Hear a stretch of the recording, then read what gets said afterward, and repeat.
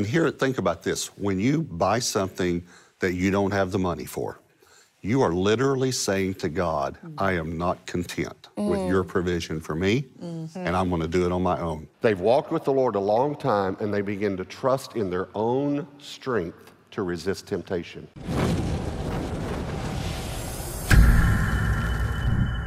Now, in your book, uh, on page 152, you talked about there's sometimes times of testing when, when we don't hear him, and you say we need to trust in his silence. Talk about that. Yeah, well, all through Scripture, you have uh, where God speaks to someone like Abraham and says, I'm going to call you to be the father of many nations. And Abraham was 75 years old. Well, 11 years later, when he's 86, nothing's happened. And as far as we know, there's no other interaction with God and him. But he has to trust. But he and his wife decide, well, we need to do something. And of course, then they produce a child in the flesh. And that's the temptation from the time we hear God until God fulfills it, is for us to produce it in the flesh. And yet God wanted them simply to trust him. And so God spoke when he was 75, but he didn't fulfill his word till he was 100. So I try to encourage people if you've heard the Lord and God's put something in your heart, don't get discouraged, but trust him until it comes to pass. So now, after teaching on giving and extravagant giving and tithing and honoring the Lord first for over 30 years now, is there something new that God's still showing you, that He's still revealing to you through this? Yeah, yeah. Uh, you know, it's amazing. People hear that we've given everything away, and actually, by God's grace, we've done that three times now. We've been able to give everything away. The other two times, we didn't feel led to give our house, but we were to give all the money we had and every, you know, all the resources we had other than our home. The other two times. Um, and so you'd think 30 years, you know, you're not learning anything new. But just a while back, there was a new translation of the Bible, and um, they needed um, uh, several hundred thousand dollars to complete this new translation. And uh, Pastor Jack Hayford uh, wanted the King's University to give that, but he was telling the board, um, I'll, I'll raise the money, but I want to do it through the King's University. And when he said that, I thought, well, we want to give. Gateway Church wants to give. So when I went to the elders about it, the elders said, let's just give all of it. Let's give every, every whatever what the need is, let's just give it. So we wrote the check and we did it through the King's University. So I'm the chairman of the board of the King's University. So I was standing there handing the, the Bible translators this check from the King's University as a representative of the King's. And I had, I, I had this kind of sick feeling. And I thought, why am I having a sick feeling? And then it, it dawned on me. I thought, I'm giving this money from the King's University, but really it came from Gateway Church. And they don't even know that it came from Gateway Church. And it was almost like I was thinking, you know, I'm not really getting any credit for giving this money. And I felt like the Lord said to me, That's the way I feel all the time. That's the way I feel all the time, Robert. You go give money, and people tell you thank you, but actually the money came from me. And I don't get credit for it. And I remember thinking, after 30 years of teaching on this, God's taking me to a new level, you know, to give and not get any credit for it. So, when you spoke for us a few years ago, you talked about the principle of first, and you called it the most important principle, not an important principle, the most important principle. Why do you say that? Well, I say it for a few reasons. One is it's the most important principle that I feel like I can share that God put in my own life, obviously, other than accepting Jesus as Lord and Savior and things. Hmm. And you can't compare it to how you're treating your spouse or prayer or something like that. But here's the reason I say it's the most important principle because it's really the, the principle of putting God first. Yes. So it's not just the, the principle of tithing or, or tithing first, it's the, the principle of putting God first in every area of our life.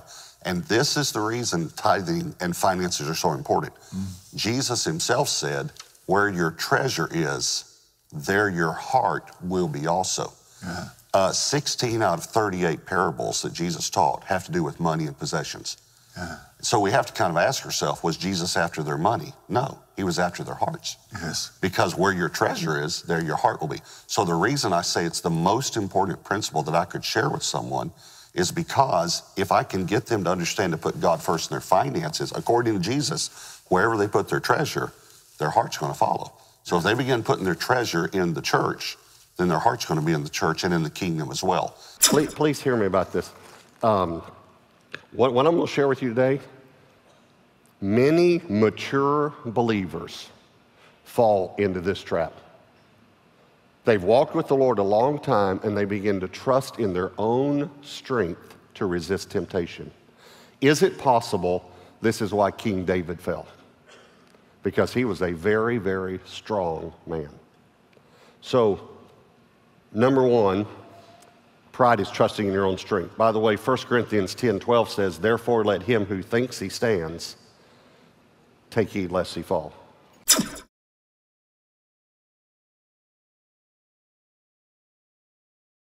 Uh, one time I was speaking to a group of young people, and I opened in this area about purity, and I opened up for questions and answers. And a very um, uh, a question came that was just a, a question that really exemplifies what a lot of young people feel. This person said to me, If we love each other and we're going to get married anyway, what difference does a piece of paper make?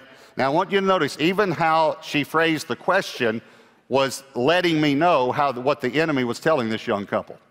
In other words, he was trying, the enemy was trying to put the focus on a piece of paper. If we love each other and we're going to get married anyway, this is the lie the enemy tells people. What difference does a piece of paper make? Speaking of the marriage license. And here's what my answer was none. None. The piece of paper that the license is written on makes no difference at all. It's not the piece of paper that makes the difference, it's the blessing of God that makes the difference. And when God tells us not to do something, it's not because He doesn't want us to have fun or He's a prude. He doesn't want our lives destroyed. When we tell our children not to play in the street, it's not because we don't want them to have fun, it's because we want to save their lives because we want them to have fun. We want them to be around and alive long enough to have fun. So when God says flee sexual immorality, there's a reason. And I want to tell you what that reason is. All sexual immorality opens up the door to numerous sins. One of the sins would be deception, one is manipulation, one is lying. You have to sneak around for any type of sexual immorality. And so you open up a door to lying, to be, to, be deceptive. David himself, when he was sexually immoral, then had to commit murder to try and cover it up this gift that he asked me to give um, shocked me. And it's the most, it's very extravagant. Um, he said to me, Would you give me your body? And I knew immediately what he meant by that. He meant eating right and exercising. And I have to tell you that my response to him was, I'd, I'd rather give you an extra 10%.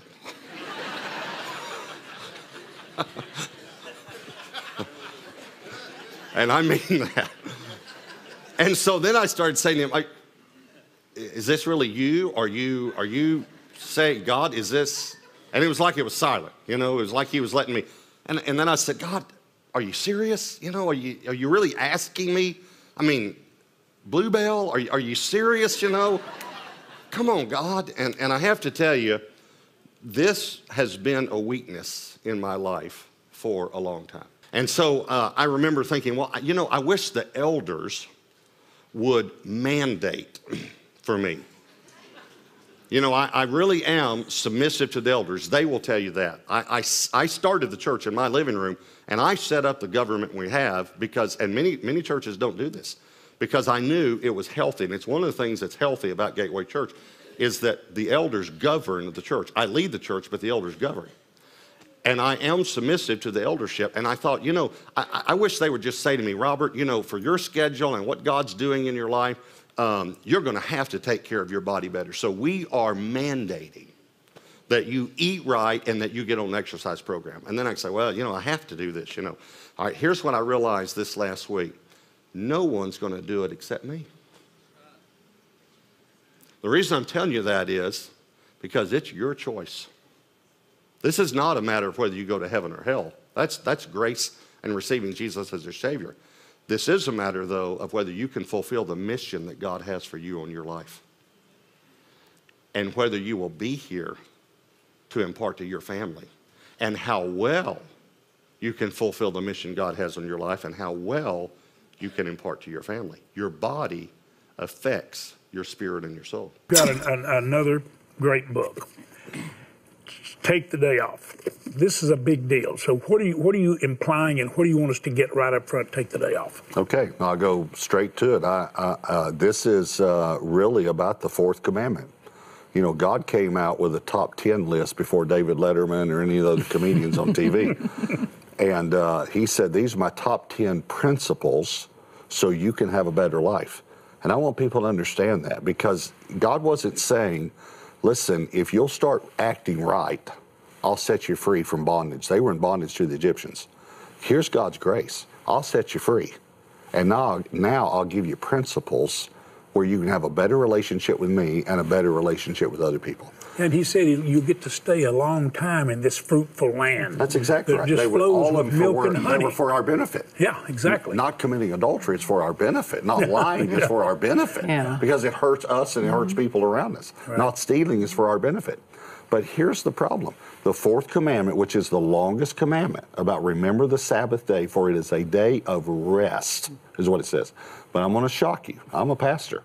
But the fourth commandment does not say anything about going to church. Nothing.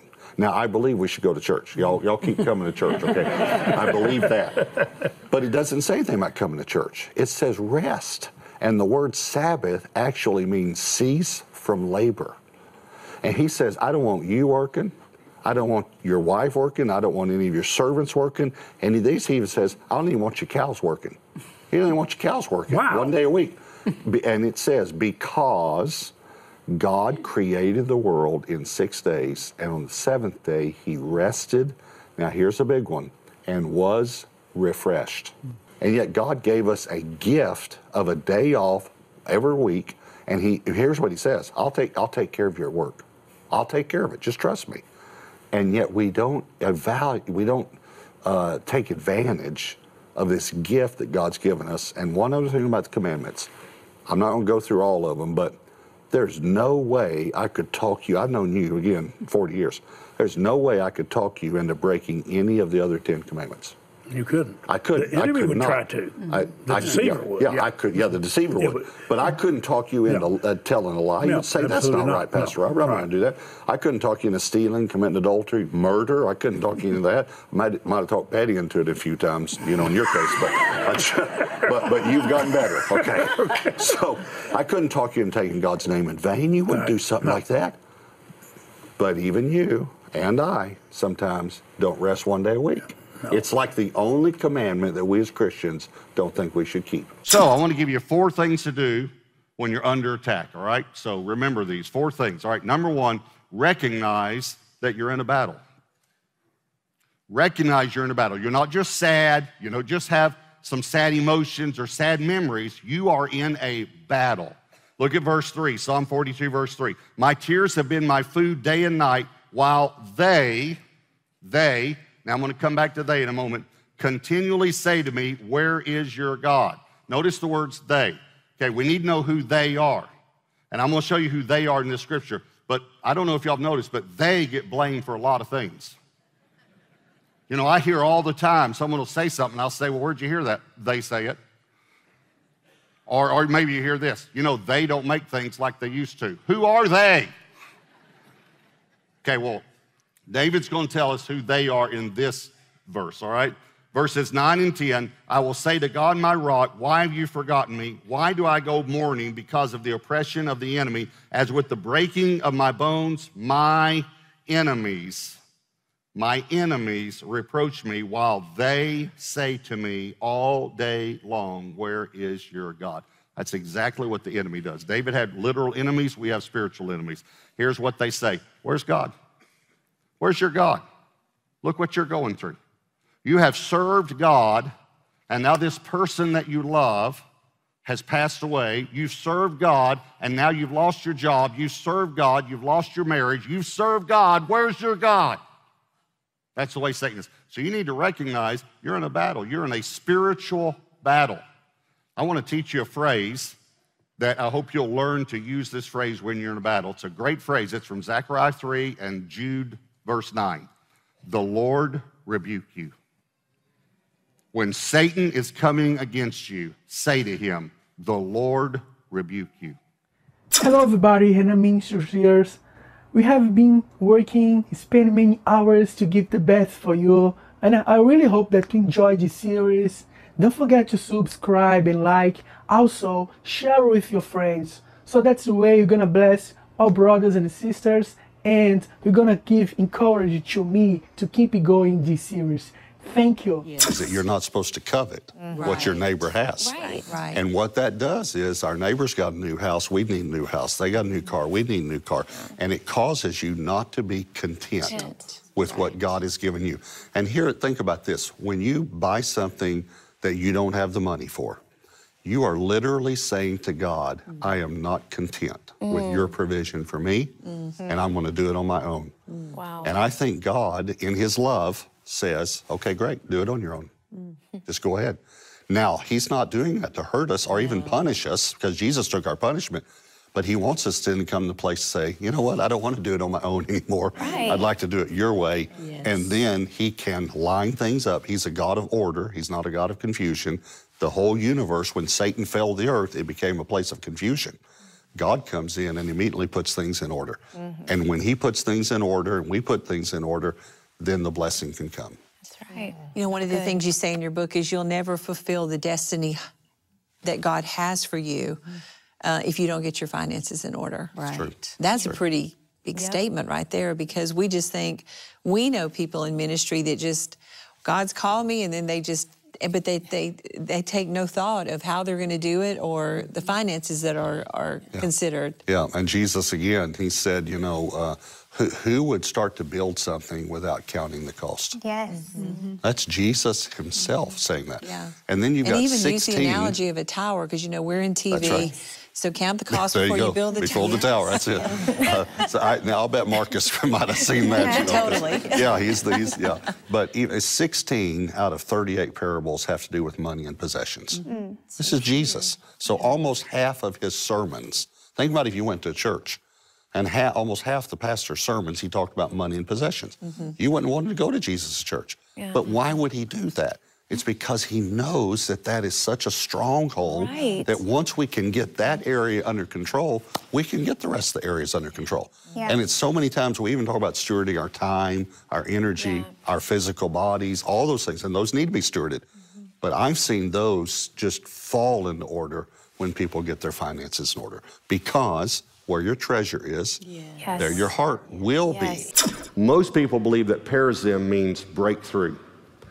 Uh, it's close to that, but it's not quite that. Here's what I, though, I couldn't understand for a long time Baal is the Philistine god. Baal Perazim. It sounds like this is where Baal had a breakthrough. Why didn't he name it Jehovah Perazim? This is where Jehovah, the Israel God, the true God, broke through. Here's the reason why. Perazim doesn't really mean breakthrough, it means broken through. Here's what David was saying I want all of my enemies to know this is where Baal was broken through.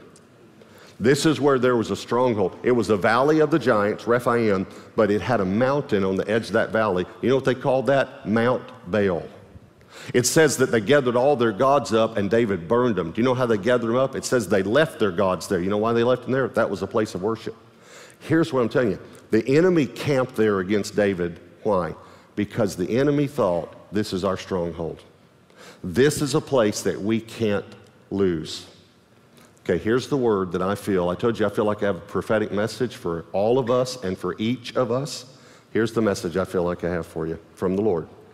If we'll pray and obey, the place in your life where the enemy thinks he has the strongest hold is the place God will give you a breakthrough this year.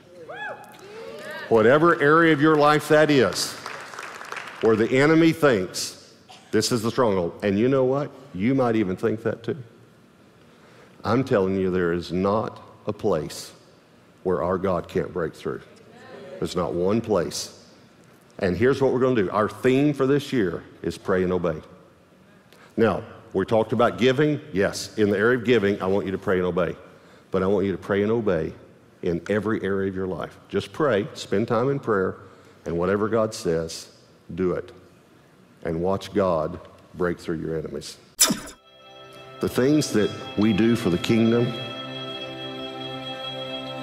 it's not because we're big, it's not because we're talented, it's by His Spirit. Here's the secret to everything that we've been able to accomplish for the kingdom, and we have a lot more to accomplish. We pray and we obey.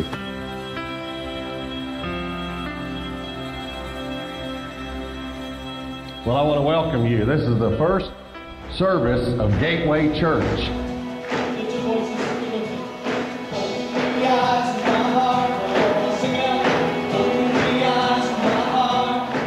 This week we're going to talk about the, the, the refuge of relationship. When I started attending Gateway, all the time, we're like, why have we never heard this before?